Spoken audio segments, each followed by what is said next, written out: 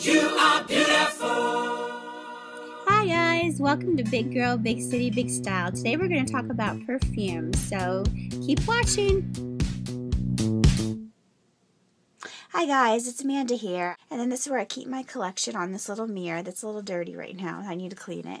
So yeah, so let's start here with the Britney Spears Fantasy. It's a great one. I love the way it smells. It smells like cotton candy and cupcakes and whatnot. It's a great smell.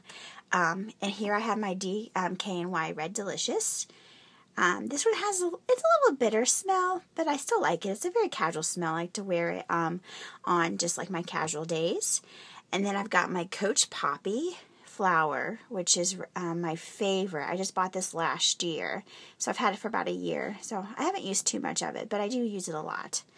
Um, and then this is another one that I bought last year with a gift card I had um, to Sephora. It's my Betsey Johnson um, tutu.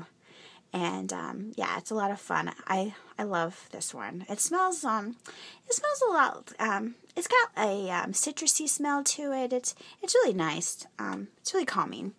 So there's that. And then this is my absolute favorite. This is my Vera Wang Princess. As you can see, I need to get another bottle.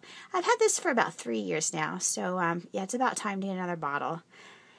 So that's my absolute favorite. I get the most compliments with this one. And then I've got my original Coach. I, this has came out years ago. I don't wear that. I wear it not that much. It's um, it's a nice um, mild smell. It's a great one. I love that one.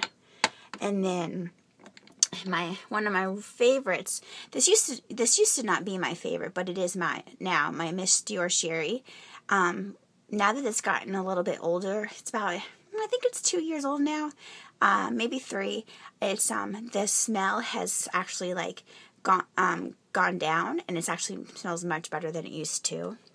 So that's that has to be one of my new favorites. And then this one is my um, Viva um, Juicy Couture Couture. I don't like this um, perfume. It's I think it smells bad.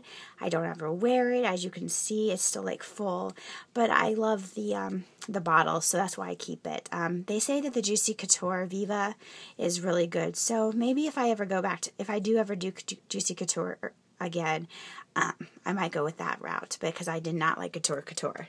It's a very musky smell, and I just don't like how it smells. So, so yeah. So, and then I have um, this I got um, when I was on the road with a show. Um, we got it like for five dollars. It's um, fruits and passion it smells nice. I usually keep it in my um my makeup kit when I'm like traveling because it's it's just a roller ball and it's nice to um have in there. So yeah, and then um then I have my two doves that I use um when I it when I get out of the shower I spray them on and then my pink uh, fruit and bright which I love and I've had this for a few years. So so yeah, it's not a very big collection. Um I am like I do try to collect more. I have more at home back in Indianapolis, and so but this is what I have here. Um, mainly, I just keep the bottles, and then um, and that way I, it's more of a bottle collection than is perfume. But but yeah, I try to I will I like to wear a different perfume every day depending on what my mood is. So yeah, so this is my little collection. Okay, well that's all I have for today. So I will see you soon, and maybe I'll have my voice back better for the next couple days, and I'll get to, I can make another video. Okay, um, I'll talk to you soon. Bye.